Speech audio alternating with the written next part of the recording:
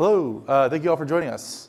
So I'm uh, Marco Ceppi, And I'm James Page. and we're going to be talking briefly about containerizing OpenStack and Kubernetes and how you can get a containerized, really dense production deployment of each in under 16 minutes. In fact, even faster than that because we only actually only have like 40 40 minute session, minutes. so it's going to have to be quick. So before we get too deep into actually how we're going to do this, and we're going to go real quick because again, 40 minutes. Um, I want to talk briefly about what is a container. What's that? Oh, oops. Cool, thank you. So when we talk about containers, containers itself is actually quite an overloaded term. It could mean one of many different things, actually. So what I want to do is kind of walk through what we mean when we talk about containers, what containers we'll be covering today, and how they apply at each of these scenarios. So to start, let's pretend the screen that's going to pop up in a second. Um, traditionally, all containers start at that lowest level piece, which is your hardware. So this is uh, any Linux operating system running on a piece of machine somewhere. It could be your laptop, uh, it could be a server in a rack somewhere, it could be a cloud potentially as well. And on there, you have a set of familiar things. You've got uh, a set of processes running, those, those vertical lines, and that's things like your init, cron, um, SSH daemon, those pieces of software that have existed in Linux distributions since effectively the early 90s. Um, you've got a disk, some semblance of disk, could be an SSD, could be a rotary disk, could be a set of things. And then finally at the bottom you have uh, some kind of networking typically, so IP stack attached to it, one or more NICs, et cetera. Uh, and then you're running your application on there. So you're running an Apache web server, you're running a bunch of custom code you've written, some Python code, it could be some Golang bits. You're running a process on there that effectively is executing what you desire. So the evolution of that is virtual machines, and that's the ability effectively, as I'm sure many of you know, because we're running OpenStack, to take a physical piece of hardware, slice it up. What you get is the same view, except you're chunking out resources, CPU, memory, and you're virtualizing all of that onto a hardware platform that's virtual hardware, basically. So you can run different operating systems into it. It's not tied to the host hardware, except for the fact that it's utilizing those resources and it has them sliced out. You've got disk processes, you've got your process running in there, you've got uh, networking attached to it, et cetera. So when we talk about containers, most people think of process containers. And that's your Docker, your Rocket, your Run C, your OCID. Those are all projects to implement Docker-style containers. And really what you're talking about is a process container. The isolation of that actual process, the thing you care about, your app, running, and enough operating system to provide that. But you're not loading the whole suite of tools. You don't have a NIT, you don't have SSH daemon, you don't have cron tab. None of those things are running. You're just running that specific process. You've got some form of disk. It's usually in a mutable place. It's got a little bit of operating system on it, enough dependencies to get things running.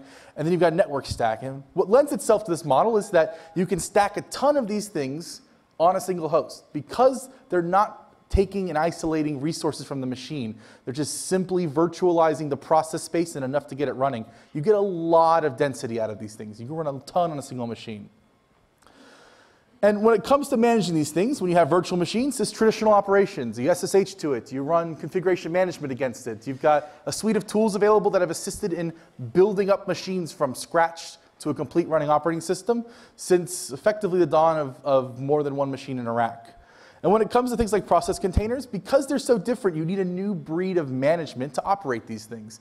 And that's where platforms like Mesosphere and DCOS Kubernetes and Docker Swarm come into play. These are all platforms that provide the operational material that you need in order to manage this new type of immutable, uh, siloed process container. the next container you'll come across typically is a machine container. This is kind of the, the, the mix of the two breeds. What you have is you've got a machine it's got a disk like you would expect it to. It's got a networking stack for accessibility like you'd expect on a virtual machine. It's got a series of processes running. Same thing you'd find on any Linux operating system. SSHD, initd, cron job. And finally, it's got your application that you're also interested in running on there. But unlike virtual machines and process containers, unlike virtual machines, you don't have the overhead of the actual physical allocation of those resources to that machine but you're using and borrowing the same technology that process containers build on to do the isolation for that. So as the result of that, you get a lot of density of machines. You're able to pack in somewhere around 14 times more machines on a single, on a single piece of hardware than you would in normal virtual machine experience. And it's also managed in the same way you do traditional applications. So it's got SSH, you can use configuration management to it. All the tools you've come to learn and love will all work against these type of machines. And when it comes to breeds of containers, that's the majority of things people come across today. This ecosystem is ever expanding and always changing, however. Um, you know, just as we had started with process containers and machine containers very early on, it's being expanded to encompass more types of containers. And the last one is an application container, which effectively extends the host, does not have its own TCP IP stack, doesn't have its own file system, its own operating system, but does the same isolation and constraints that you'd expect to run your process. This is for when you want security, but you don't need the density and you don't need the overhead of having an entire operating system disk to serve a single process. And in today's conversation about containerizing OpenStack Kubernetes, we're going to cross the breadth of these tools, how they all come into play, and how you can actually utilize them to make much more use out of your hardware for these deployments. So in these conversations, we're to come across the top side, you see a lot of this is the process container style management. Rocket, Docker, OCID, there's a bunch of tools. At the bottom, you're getting down to actual virtual machine management platforms. That's VMware, Hyper-V, KVM. And then finally, also LXD, which provides you that machine container constraint. These are kind of the players that we'll be dealing with today. And so I'm going to pass off to James Page. James Page is going to walk you through how we can use this technology in OpenStack. Um, Cool. Do some cool stuff. Thanks, Marco. Yeah. So we're going to be focusing specifically on how we use machine containers both to provide instances to users of your cloud and how we can use machine containers to containerize parts of the control plane of the cloud as well. So we'll start off by talking about Nova LXD. Um, just out of interest, who's heard of Nova LXD? Okay, about 20 or so people. So uh, Nova LXD is a, uh, a driver for Nova that allows you to integrate with an, the, the LXD uh, container hypervisor on a, as a, a, hypervisor choice rather than KVM or libvirt, for example. It has um, very similar semantics in terms of how you manage the instances that are running in LXD containers rather than KVM machines. You can use the standard Nova API, your, all the standard kind of lifecycle operations. You've got standard resource constraints, so you can apply, apply, CPU and memory configuration to the instances that your users are using and charge your end users accordingly based on the, the resources that they're, they're actually consuming. Um, and we've also got some other nice features in, in Nova LXD because it's a very thin layer on top of the hardware. Um, we can configure our clouds to do um, what we call an exclusive machine scheduling trick. Um, and that basically means that the LXD container gets 99.9% of the the hardware resources on the box with a very thin uh, uh, overhead, um, but it can also plug into things like uh, the underlying Neutron virtual networking. consume block storage from Cinder still. So without any of the complexity of actually giving a user a piece of hardware, we can give them a almost close to hardware experience via an exclusive machine. Okay, so that's how we can use um, machine containers within Nova and within OpenStack specifically. I also want to talk about how we can use machine containers when we're deploying clouds. Um, so there are two projects currently in the OpenStack community that do this, um, OpenStack Ansible and OpenStack Charms, which I'm the PTL of. Uh, and they both leverage uh, use of LXC or LXD containers to containerize the control plane of an OpenStack cloud. Um, so what that allows us to do um, is segregate uh, the, those control plane services into their own uh, discrete file system with uh, IP address, multiple network interfaces potentially. Uh, they can be SSH managed. You can monitor them exactly as, as you uh, would do traditional applications. So things like Nagios or Ganglia or maybe uh, Filebeat and uh, an stack can be used to monitor all those things just as you would normally would. Uh, but it gives us a lot of agility in how we uh, can deploy OpenStack across a given piece of hardware. So by using LXD in conjunction with something like MAAS, we can put down physical servers of Ubuntu, and then we can place the control plane as we desire across that infrastructure. So this is a, a kind of classic monolithic approach to the control plane, where you have all of your OpenStack uh, services on the left-hand side there for the control plane on, say, three servers. Um, in that approach, we'd still containerize those things so that they're all isolated from each other. And those containers are bridged onto the underlying network fabric, so they have all the same network access as a host does, but they're just segregated from each other. And we push out the, the, the compute and storage onto its own physical hardware. Or we can think about that uh, in a slightly different approach. So in a converged architecture, we can combine all of those things. We can run uh, compute and storage on the underlying infrastructure, and then we can spread the control plane, again, in LXD containers, right alongside tenant instances. Now, there's some risks to that. You know, if you get some noisy tenants, then that can potentially cause problems. But in, especially in larger cloud deployments where you can have hundreds of compute hosts, the overhead of running the control plane is probably somewhere between 20 to 30 containers. So, you know, that's going to be uh, one in three chance of actually a KVM instance potentially impacting on a LXD container. So what I'm saying is that LXD gives us a, and, and, machine containers gives us lots of agility to be able to slice and manage our infrastructure in a much more intelligent way uh, than where if we're just trying to push everything onto the physical infrastructure itself. So um, we're going to take a quick look at what that convergence looks like. So uh, Mark mentioned this tool, tool, in, the, in the previous talk. Um, this is a cloud that's been deployed using Juju um, which is the, the service uh, modeling and deployment tool that we, we've produced at Canonical for the last few years. It's using the OpenStack charm set and a number of uh, supporting charms, including things like uh, Nagios and HA cluster to provide clustering within, within the deployment. Um, but the key thing here is this is nine physical machines. So we've got a complex model of OpenStack in terms of relations and how things need to be configured and communicate with each other for messaging and database. But this is actually only nine physical servers. So each of these servers has a number of services deployed on it. Um, so some of them don't have very much on it. So we've decided to dedicate a piece of hardware, for example, for the north-south traffic routing and the network services being deployed um, to service tenants in, via Neutron. But in, in some of them, we're using a number of LXD containers, which you can see on the right-hand side there, uh, for the various different components of the cloud. So we have high availability in, each, in all, all of the services. Uh, we're providing VIPs for access, and we're able to spread and manage the LXD containers over the underlying physical server resources. In this one, we've actually cheated a bit because we've got some of these servers are uh, spindles with uh, NVMe bcache front end, which has nice IOP characteristics. So we've pushed things like MySQL and RabbitMQ on, onto that, that particular infrastructure and made an architectural choice about where we want to place those in our cloud.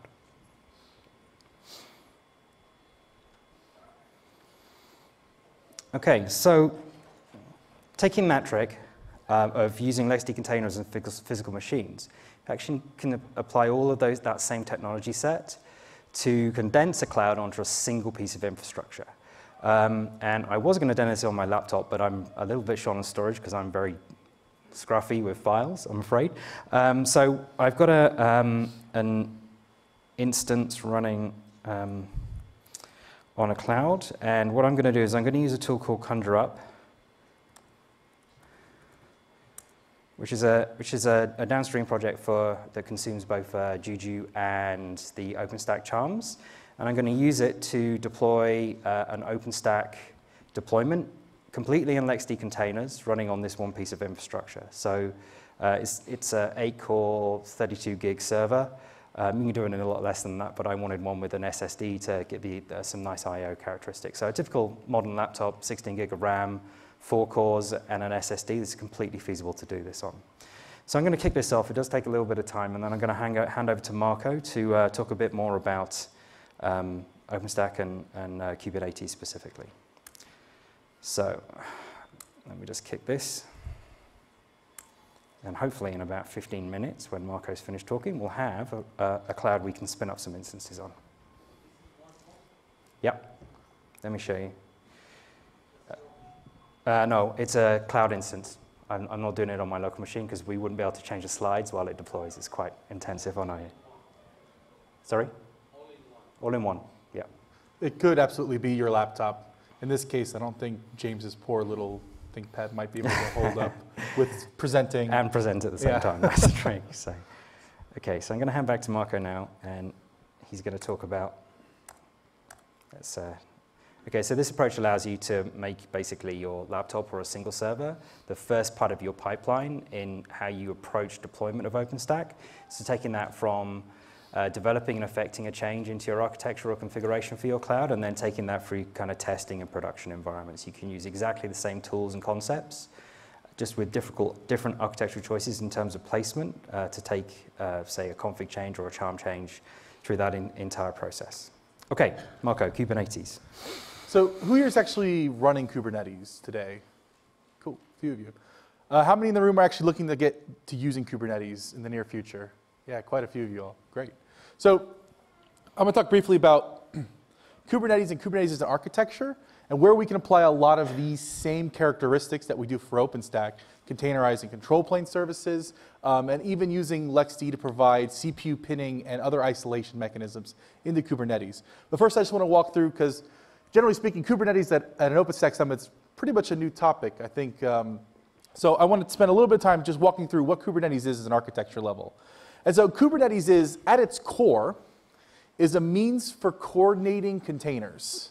And so what this provides is that same infrastructure, that same language, the same mechanism for managing Docker and Docker-style process containers um, in a reusable, reliable API fashion. Much in the same way that OpenStack provides you a consistent API entry point for managing machines uh, Kubernetes aims to solve that same problem for that Docker layer, that process style container. And so it commoditizes and provides you the means for abstracting compute, network, and storage, much how OpenStack does for VMs, but at that container level. That's ultimately the goal for this project. Um, you'll notice that they'll be opening up, or they have opened up support for other container mechanisms. So it's not just Docker anymore today. You can use uh, Rocket, and as more different process container uh, projects spring up, we imagine we'll see those supported in Kubernetes as well. So this is tantamount to them adding hypervisor support for different types of hypervisors where the container runtime has changed. So Docker isn't the only one available. Uh, Rocket from CoreOS, there's also the OCID project, there's uh, Containerd in general, um, and lots of different projects that aim to provide uh, varying features where Docker doesn't necessarily fill the gaps for those projects. So, ah, because, open, because Kubernetes is providing this mechanism, because it's doing it around container processes, it actually gains a lot of different feature sets that we necessarily haven't seen before or have struggled seeing on different platforms. And these things like being able to roll out and roll back. This is, I deploy a change, and if something goes wrong, I can just roll it back to the previous version. Because we're dealing with a, such a smaller surface area, a process container is an immutable device that's a single process running that is essentially a snapshot on disk of a file system. And because of that, we gain a lot of additional extra primitives much in the same way we gained flexibility with VMs when we moved into things like OpenStack clouds. Being able to migrate a VM between hosts is unheard of for a rack, uh, racked system because you'd have to literally go and plug it, move it somewhere else. So because we keep moving up the stack of technologies, Kubernetes provides additional primitives that we never really haven't seen in full force before in other platforms. Um, I wrote these pretty quickly here. So it's being able to scale up and scale back. While those are available today, it comes natively out of the box with things like Kubernetes because they are, again, those little pieces of processes. Spinning up 10 more of those things is a very cheap um, and inexpensive operation. Uh, service discovery and load balancing and self-healing are all additional primitives in, uh, in addition to more, where self-healing being that because these are process containers and they're very easy to, to have observability into that stack, because of how small the surface area is for those items. It's very easy to see, oh, I'm expected to have 10 of them, I only have four. Because it's so cheap to scale up, I'll just add a few more of those things. And so Kubernetes has those components and, and mechanisms to manage those kind of features. Um, and Kubernetes at its core is really built up of these three pieces. Um, so we talk about Kubernetes, I'm always going to be referring Kubernetes in a production grade. So absolutely, if you want to go and set up a Kubernetes today, you can just go download and run etcd somewhere. You can go download and run Kubernetes somewhere and connect those components up. But when I talk about deploying Kubernetes and what a Kubernetes looks like, I'm talking about a production grade one. And for those, you need three things. Well, first, you need Kubernetes, and that's the third most icon on the right. You also need etcd. etcd is its backend data store. It's where it uses to coordinate all of its data for things like what versions of, of application processes do I have running? Um, how many of each do I have? How do I coordinate across multiple pieces of a cluster? And the last one is you need TLS certificates. You need some form of certificate authority, uh, whether that's you using Let's Encrypt to grab certs from a public domain or buying them through any certificate provider, or using something like EasyRSA or Vault to do your own in-house private key infrastructure management. And those three things are the main components that comprise a Kubernetes cluster. So it is, because the surface area of process containers is much smaller, the management concerns for them are, are a bit more decreased as well and becomes a bit more of a tangible stack. And how these look, my slides are blanking out. Yes. So what these look like actually deployed is deployed in an architecture similar to this. You have EasyRSA, which again manages that PKI. You have etcd, which is your distributed data store that backs your Kubernetes data. You have a master control plane service. This runs your API server, your scheduler manager, which goes and makes sure that I have X things running, but I need Y, so I need to boot Z machines, uh, or Z, sorry, Z containers. And then your workers. This is where you actually go and run your workloads. This is running your container engine, uh, Docker, Rocket, etc. It's running Kubelet, which is that agent that talks to the container orchestrator there. It's running your SDN for, for networking management. That could be Flannel, could be Calico, could be Weave, uh, could be any number of the uh, CNI, the container network interfaces that are supported. Um, and running your kube proxy service, which allows you to do networking across each of the nodes so containers can go ahead and speak to each other and address each other for service discovery. And so when it comes to deploying these things, this actually becomes a little bit more complex of a topology. So this is the Kubernetes diagram to what you need and where you need it and how to set it up in the order to do these things for setting up a Kubernetes. First, out of band of any of the scope of Kubernetes project, you need to have something to address. You need machines somewhere. Um, and what's great is, is we have a tool that already does machines on demand for us. It's OpenStack.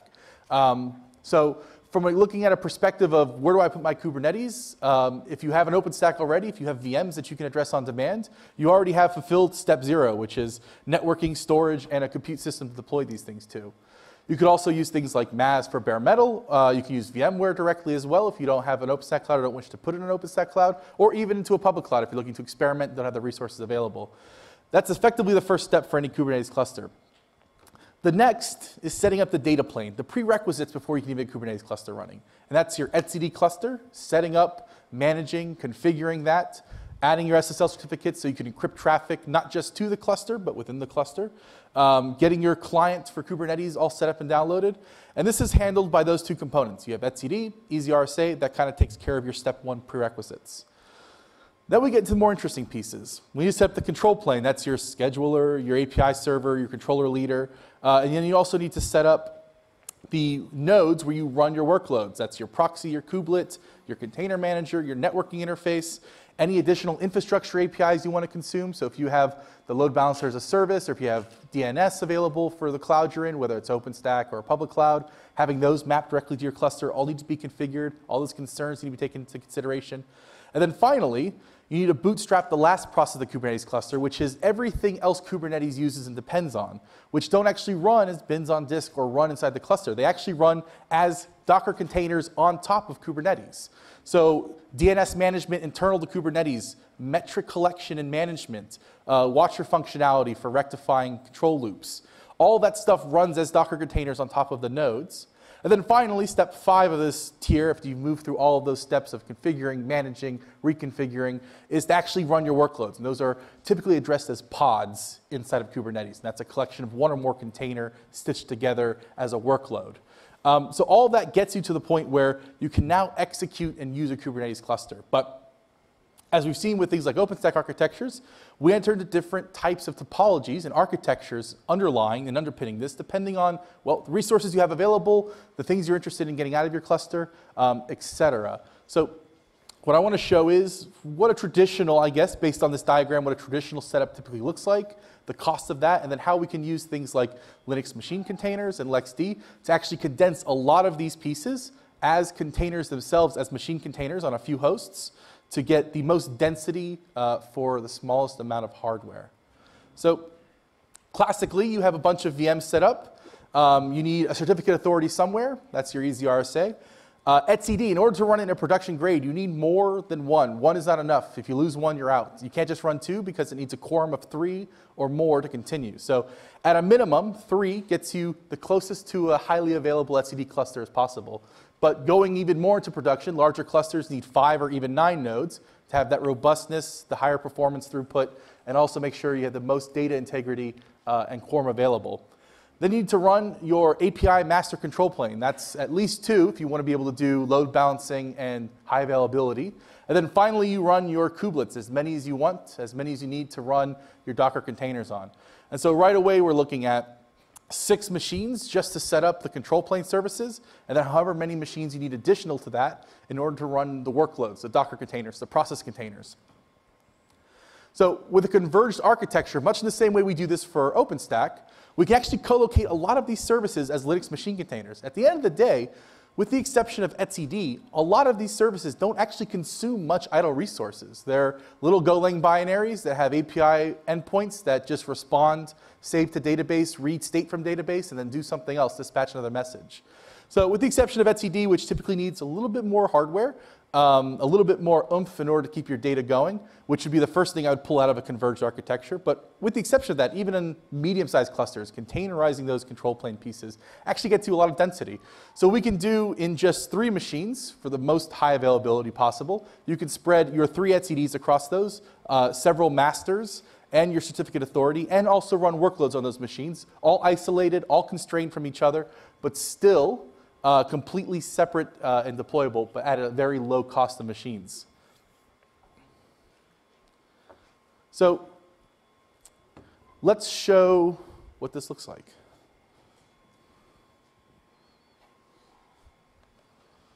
Oh, find me a terminal. Ah.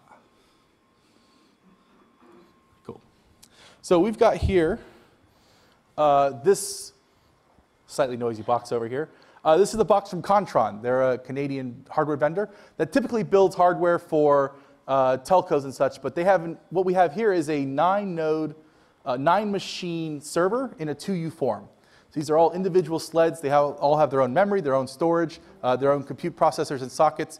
It's a really cool device. Um, and what I'm going to do is I'm going to actually deploy Kubernetes on just a few machines on here without having to really burn through my nine nodes. So I'm going to do a super converged architecture. I'm just going to go ahead and type conjure up. And so what conjure up is, I'm going to install conjure up.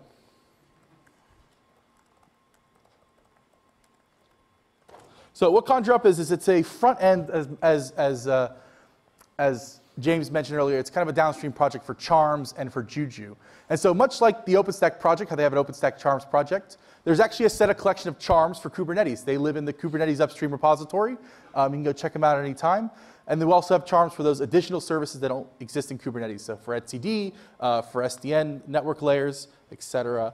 So we'll wait for this to finish. And so what we'll do is we'll use conjure. And what conjure up does, it gives you kind of a starting point for topology. It's a great way to compose and say, here's a starting point for a very small, tight cluster. Here's a starting point for a very large production-grade cluster. And then from there, you can change the topology. You can modify it. You can execute it, destroy it, execute it again, change something. And then when you're finally done, you can export that and say, this is my architecture, the topology that I want. And you can replay that over and over and over again without having to go through the UI process. So I'm going to go ahead and conjure up a Kubernetes. And much how we conjured up OpenStack, this will give me a few options to choose from for a Kubernetes topology. So the first is Kubernetes Core. This is a two-machine Kubernetes deployment with as much density modeled as possible. We containerize as many things as we can, put them on just two machines. So it's not necessarily production grade, but it's enough to get you a good experience with the developer box. Uh, one machine that's dedicated just for doing workloads, and the other machine has containerized control plane services on a single host. The canonical distribution of Kubernetes is the next logical step from there. So this includes things like a load balancer for your API control plane traffic, multiple API servers, a larger etcd cluster, and a few more workers to back it. So this is normally a nine machine topology. Um, I'm going to go ahead and choose Kubernetes Core. I'm going to go ahead and say, I'm going to use my MAAS controller. So we're using MAAS, which is that bare metal manager. Looks a little something like this.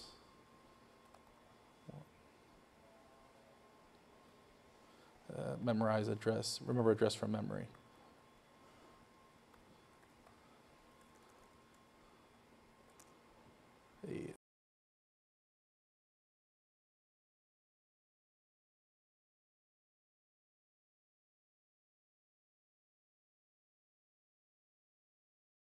Nine nodes that I mentioned earlier. So, that's all right.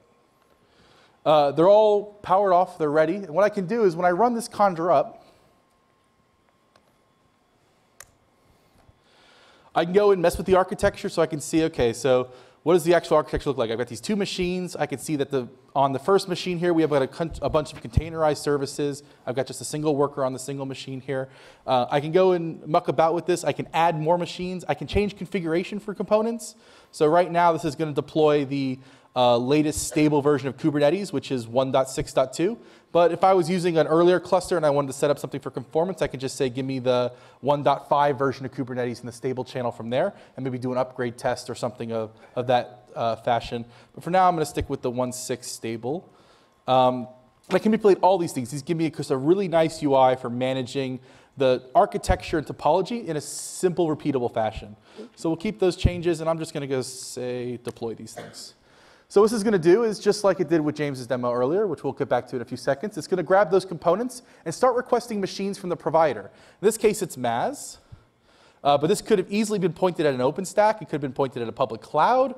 It could have been pointed at um, VMware. It could have been pointed at, like it is now, bare metal. And we'll, we'll hear it. It's going to start getting a little whiny over here.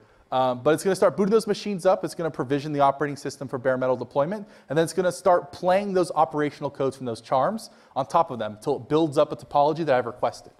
And once it's done, I can export that topology. I can go give it to a coworker. He can go run conjure up against that topology on his laptop, on his, on his OpenStack tenant, uh, on his public cloud, and get that same experience, that same architecture that I just built. So this is going to take a few seconds to boot up.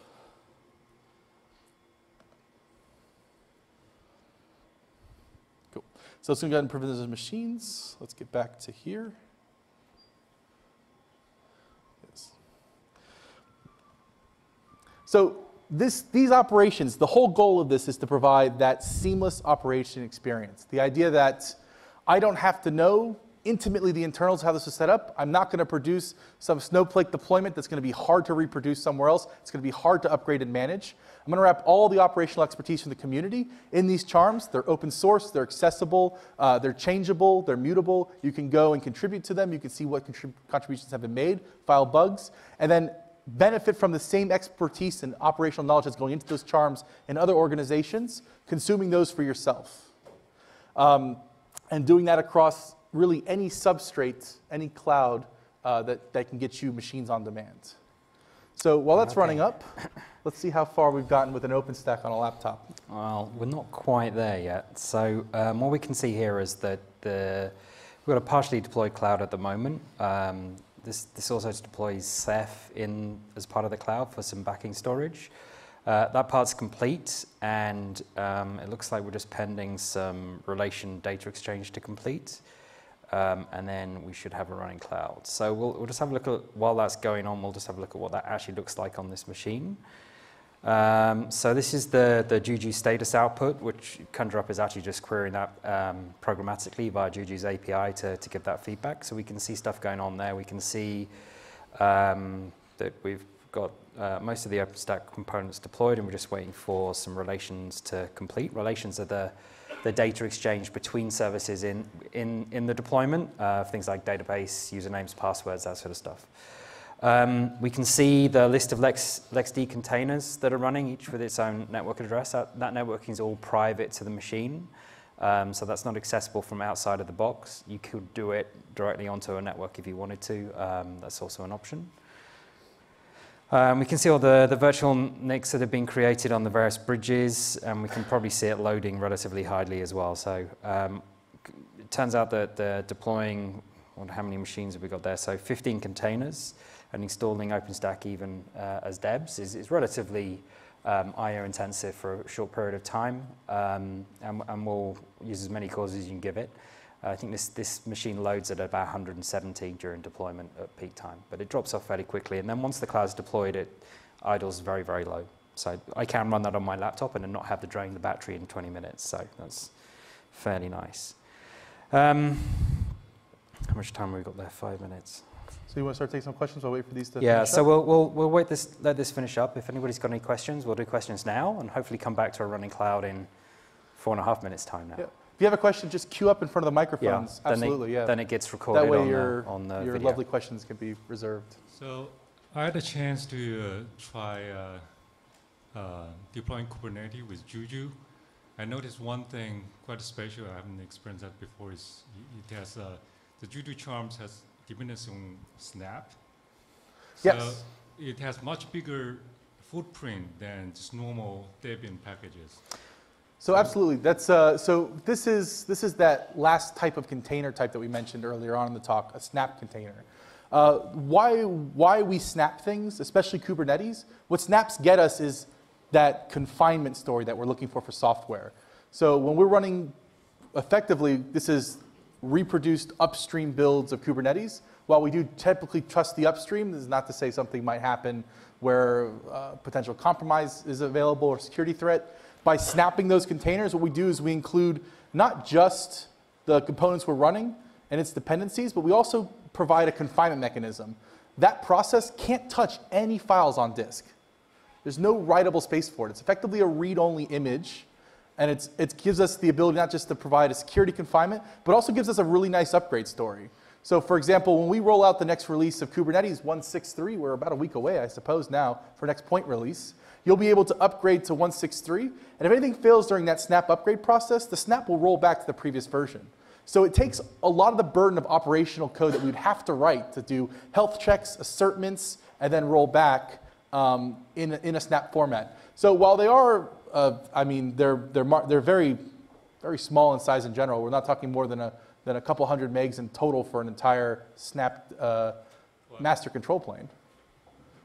It's true, but I, I think comparing, you also have the etcd Debian packages, which is much smaller. I think Hmm. maybe 10 times smaller than the Snap package. Um, we can take a look at that afterwards. I'm not sure that's quite the case anymore. We've done a lot to prune our etcd snap So, down. I mean, Quite a nice. Uh, Not to get into snaps in too much detail, but there's some nice features in terms of how snap upgrades work as well. So when you move between versions of a snap, that's actually binary deltas coming down the stream Yep.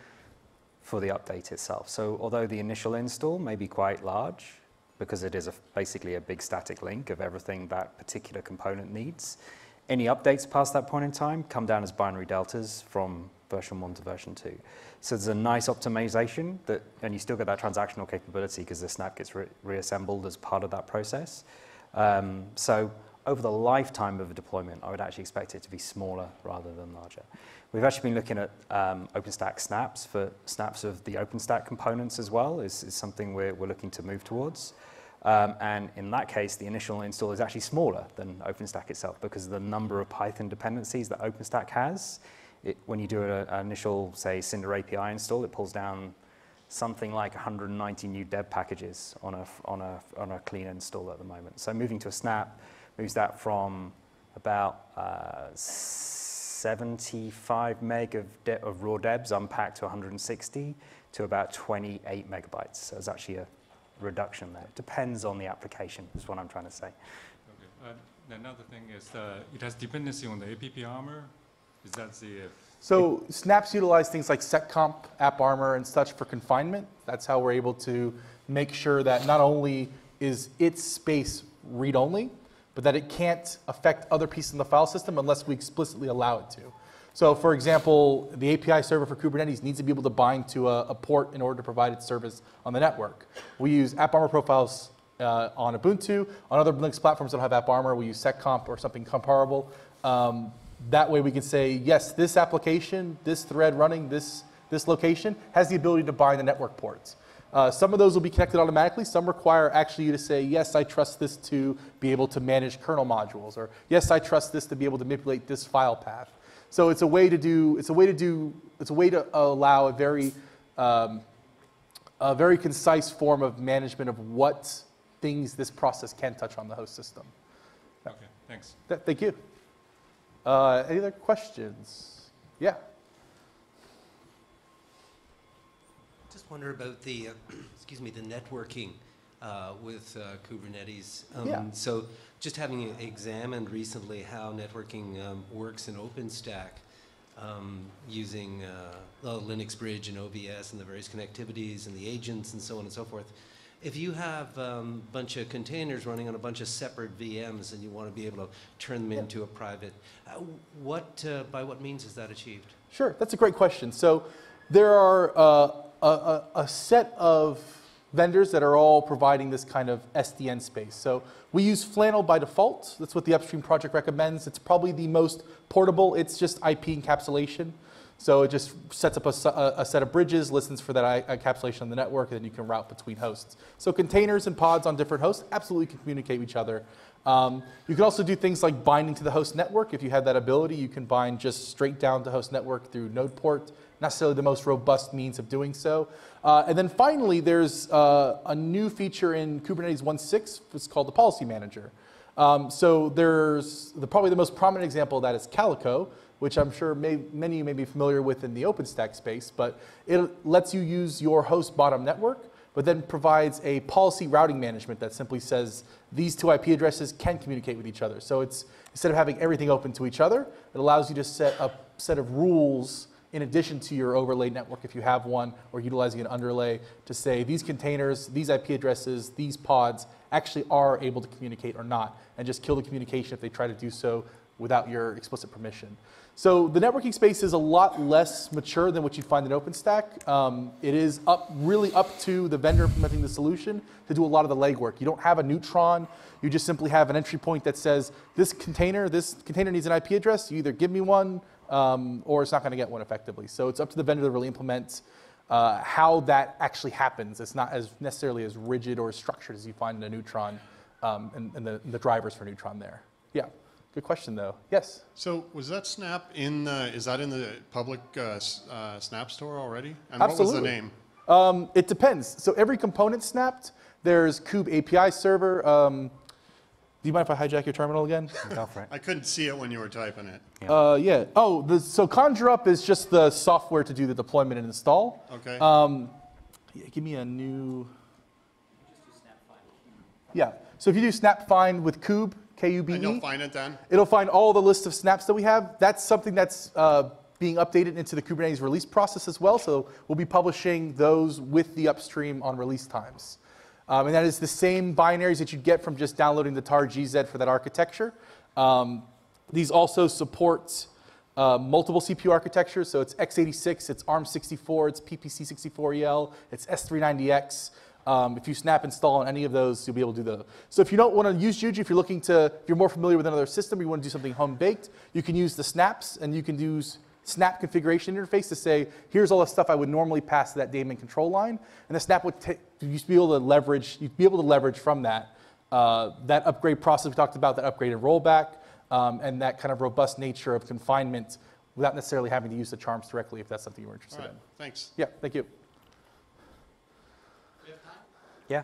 Yes, I think so, yes. So again, um, on the snap, destroying the environment through snap, is it not available and you need the Juju model? No, so Is you're talking true? about uninstalling a snap? Everything that was deployed by snap. So the snaps didn't deploy anything here. We're using the snap as a package format effectively. Right. So we use Juju to create machines. We put code on those machines to do operations, which installed snaps. If you use Juju to do that mechanism, you can say, Juju, destroy this model I've created, and it will effectively delete those machines and wherever, they, wherever it found them. Um, I'm, I'm just saying, with the snap, um, all this was automated, and now destroying. It can also be automated. It's effectively a one-line command. You need that Juju model again, right? Yes, the model you created can be destroyed from the client that we used the same way we created one, we can destroy Right. one. And second one, second question is on CNI. So you have um, LXD uh, CNI, you have the the Docker that is not used, and then you have also a Juju CNI. What is that So- used for? We don't have, uh, so we don't have a LXD, so CNI container network interface. Right. You Yes. have when you deploy it with the Snap, it creates three of them. Right. The the LXD, which is uh, the OpenStack container, and uh, and you do the Juju something CNI. I'm wondering why and what's I'm not sure exactly what you're referring to. We don't create any CNI outside of the SDN provided. But when this session's over, we can take a look at all right. maybe that more particular. just again, these are different parts that work in different ways, right? I think they kick this Snap off. is like a dev, but it's tighter, is probably the best way to describe it, and it self-updates.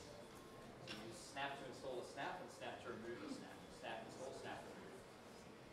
And then Juju is for building, building models across many machines or across many XD machines or across different clouds, VMs or physical machines. Juju understands modeling of a complex thing.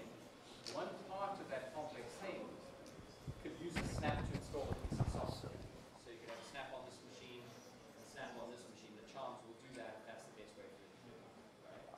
All right, I'll take close look.